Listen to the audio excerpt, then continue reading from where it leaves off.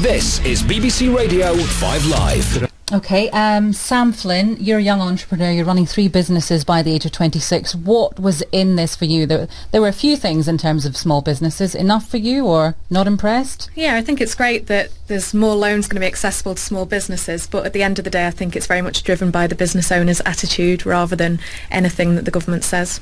This is BBC Radio 5 Live. Sam Flynn, I'll go to you first. Young entrepreneur. I think you we heard from you briefly earlier. Um, you know how it is to run a business. Do you believe any of this? Uh, Does any of this mean much to you? Uh, not really to me, no, to be honest. I think it's great that there's more loans obviously becoming accessible to smaller companies. Um, the issue is then what that money is then being spent on. In an economy like this at the moment, um, I'm finding a lot of small businesses are cutting prices, they're dropping their profit margins, and you know they're not spending effectively on marketing. Are, And- are you getting any loans that you want, or do you want loans at the moment?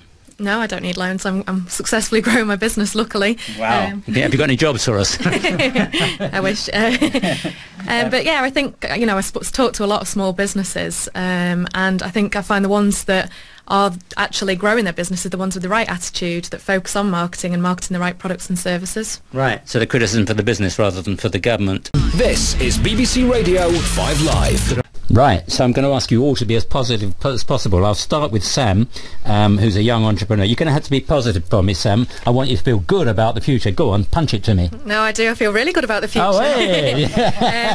um, to me, I think the old Henry Ford quote comes to mind. If you think you can or if you think you can't, you're probably right. Yeah. And I think businesses now need to stop thinking the next two years are going to be really difficult and start thinking, actually, I'm going to make sure that next year is my best year ever. That's possible. It's still possible, isn't it? Because I know myself, there are occasional people out there, and you say to them, "Oh, isn't life grim?" And they say, "No, it's fine. Just well, get out there and do it." and, and it's been proven in the past that recession opens up so many more opportunities to businesses. Hey, they just I need like to find that. them. Now we're talking the talk.